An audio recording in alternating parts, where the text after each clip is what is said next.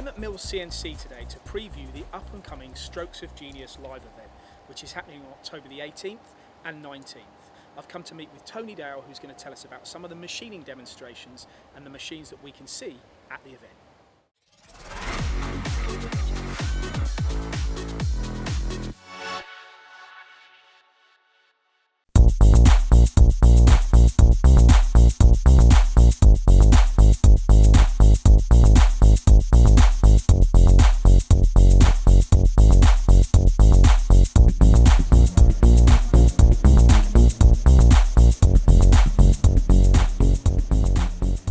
So, Tony, first stop Siemens Control. This is exciting.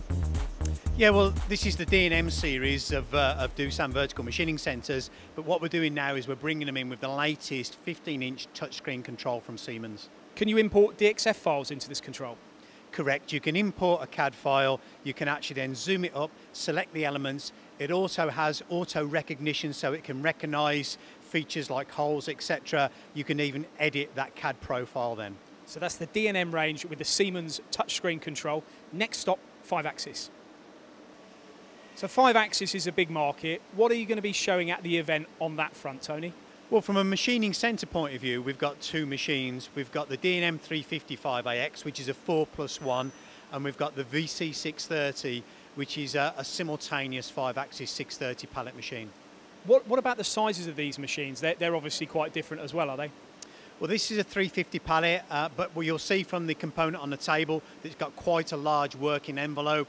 It's uh, an aerospace uh, actuator block that we're actually machining there. And then on the 630 machine, obviously 630 pallet, 730 swing. Now, I know your time is limited today, and I do appreciate your time. Can you tell our viewers again when the, when the um, open house is and how to register?